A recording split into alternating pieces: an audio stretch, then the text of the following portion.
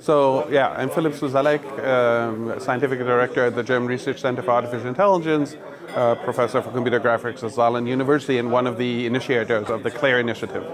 Um, in AI, we're working on something that's called digital reality, um, which is this idea of modeling the world, uh, simulating it, and then uh, using this to, to train and also, in particular, to validate AI systems. So we're in this situation where AI has been a very fragmented area in Europe, which is very different. Like, uh, right, Google brings things together, Baidu and the Chinese government on, on the other side, while Europe it was all small groups all over the place, uh, maybe with some exception like the. But uh, we felt like if we really want to move uh, things and if we want to really be competitive, uh, we need to bring the community together right? And even a big organization as DFKI, we're the largest research center in AI worldwide, we can't do this alone. And this is why we started CLAIRE, uh, which is the Confederation of Labs of AI Research in Europe. Um, we have 260 or more by now labs, uh, almost 3,000 individual supporters. So there's a really a momentum building.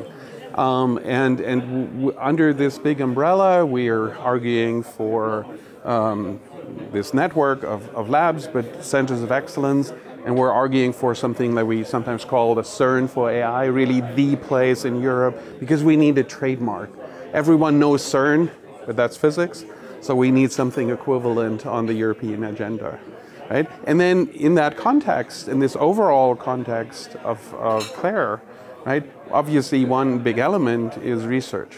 Right? And this is why we started with some colleagues, I started the, the Humane AI uh, initiative, um, which is this flagship, which was supposed to go over 10 years.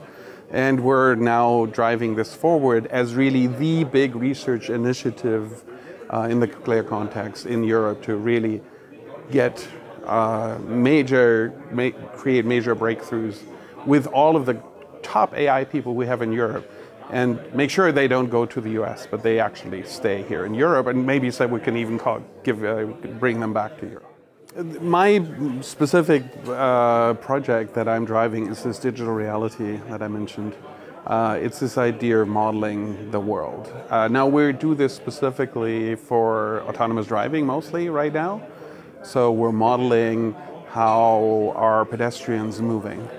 Um, right, as humans, we never think about whether a pedestrian will cross the street or stop at the, at the edge. We know, right? We see the subtle changes. So can we, can we model that so we can create artificial synthetic scenes that we can use to train, that, that incorporate these fine subtle changes in human motion um, to, so we can train this to an AI system. And we can, we can use these models also to create test cases to make sure that a future autonomous cars is actually detecting this and, and will not kill a pedestrian. So it's really the validation of AI systems through modeling the environment, using this for training and many other purposes. That's a large scale thing.